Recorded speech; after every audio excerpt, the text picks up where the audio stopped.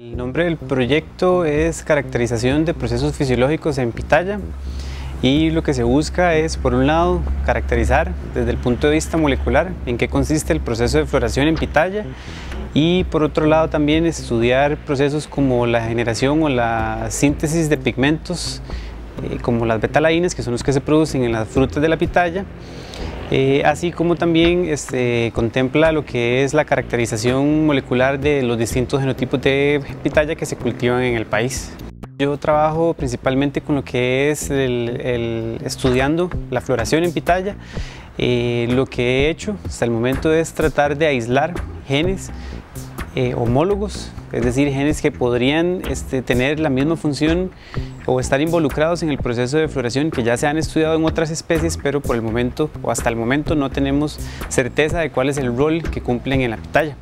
Entonces lo que hemos hecho es tomar ARN, a partir del ARN hemos sintetizado ADN copia y luego hemos tratado de aislar parcialmente secuencias de estos genes con el fin de entonces este, determinar qué función podrían llegar a tener o cuán involucrados están durante la floración.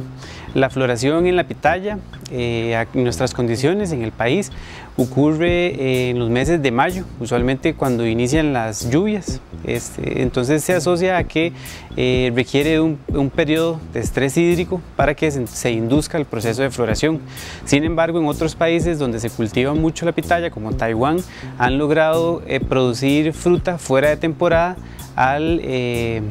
reducir las horas noche. Entonces eh, hay cierta incertidumbre en cuanto a cuál es el mecanismo que induce la floración en la pitaya y pues este sería el objetivo, tener los genes o lograr identificar cuáles genes están involucrados en el proceso para luego entonces poder determinar cuál factor ambiental podría ser el que este, dispare la floración en la pitaya. Hasta el momento he logrado identificar o aislar dos genes florales, eh, LIFI y apetala. Cuento con secuencias parciales de estos genes eh, y bueno, entonces lo que queda ahora es tratar de aislar el gen completo para poder luego hacer estudios fisiológicos, poder incluso transformar plantas, por ejemplo, plantas modelos como Arabidopsis, con el fin de determinar si la función eh, de estos genes está realmente involucrada con el proceso de floración.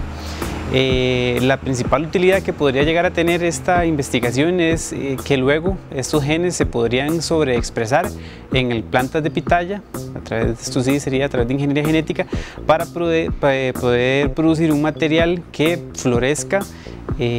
mucho antes,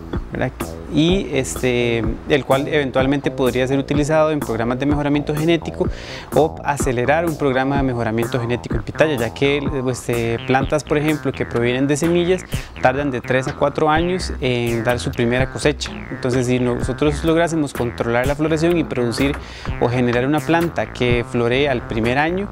eh, esto sería muy conveniente para un proceso de mejoramiento genético ya que se acortaría el tiempo en el que se podría generar una nueva variedad.